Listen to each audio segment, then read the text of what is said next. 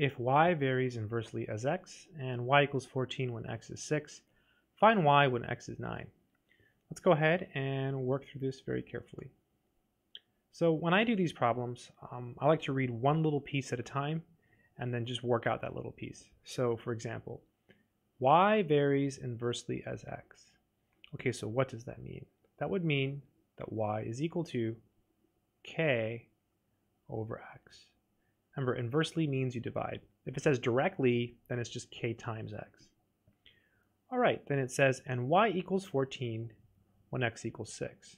So now what we can do is we can take these numbers and plug them in and solve for k. So 14 is equal to k divided by 6. And we're looking for k, and it's being divided by 6, so we can multiply both sides by 6. So 6, and then put a 6 here on the left.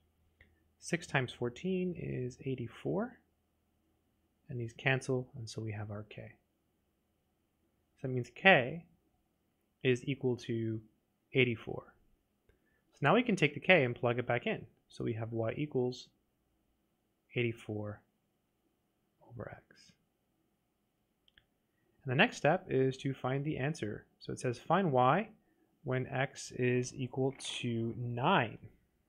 So in this case, all we have to do is plug in 9 for our x. So we get 84 over 9 as our answer.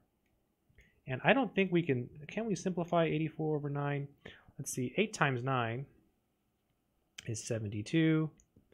Uh, 9 times 9 is uh, 81, so it's not going to work out very nicely. Uh, 3 goes into 9, and I don't think 3 goes into, uh, it does, it does. 3 goes into 84. Uh, 84 is 3 times 8. A little bit sneaky. So this would be, in reduced form, it would be 28 over 3. That would be the final answer. So again, you just do it in steps. So y varies inversely as x, so you write that down. And then y is 14 when x is 6. So you use this information to find k, and then you plug it back in. And the last step is usually the easiest step. You just plug it in. I feel like the simplification here was a little bit harder than in some of the other uh, examples. I hope this video has been helpful.